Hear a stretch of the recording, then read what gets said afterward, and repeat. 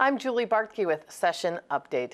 Ending domestic violence. It's the impetus for legislation this session, and it's also the theme of a rally at the Capitol that drew hundreds. First of all, explain to me a little bit about what today is all about and how many years you've been doing this. Well, um, I'm with the Minnesota Coalition for Battered Women, and we've been coming to the Capitol for 35 years. And in more recent years, we've banded together with the other anti violence coalitions. So, the Sexual Assault Coalition, the Tribal Coalitions, MinMan, which is a statewide men's organization working on violence against women issues. And so, we come with our member programs, come to the Capitol to sort of educate policymakers uh, about our issues, uh, to understand the depth and the impact that violence is having in our communities across the state. And so for a rally like this, what is the what is the impact to the people who come and participate in this? Well, for one, it's a way we know that um, while we're here in St. Paul, we represent our member programs. That really, it's our member programs across the state doing the work, and we want our legislators to have relationships with those programs, understand what the local impact is of the policies that are made at the statewide level. We also have a large youth program we run here, and so we have kids here today, and their focus is really on the Safe Schools Act.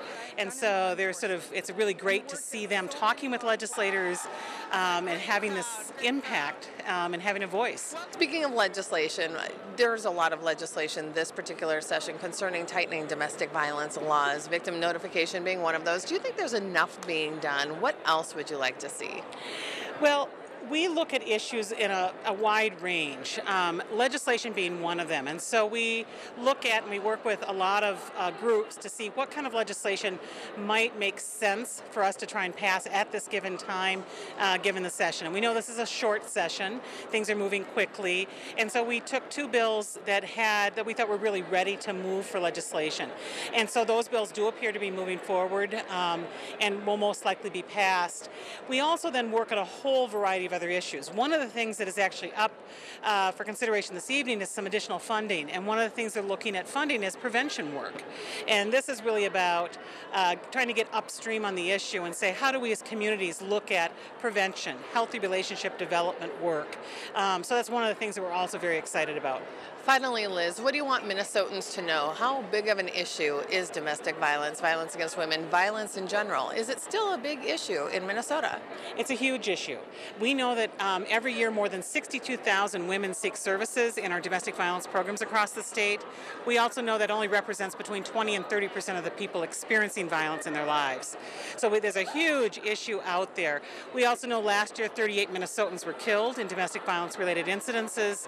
So it still continues to be a big problem. And that's our message today is really is safety is a foundational issue. That we need to think about safety not just in terms of what happens with law enforcement, but we need to look at do we have safety for everyone in our community so kids can show up at school ready to learn? Do we have safety in our schools so kids feel like they can be in an environment and learn? Do we have safety in the workplace so people can be productive there? So really we're trying to uh, really broaden who sees this as their issue and it should be everybody.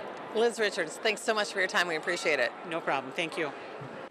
Remember, you can follow activity at the Capitol by following us at senate.mn slash media.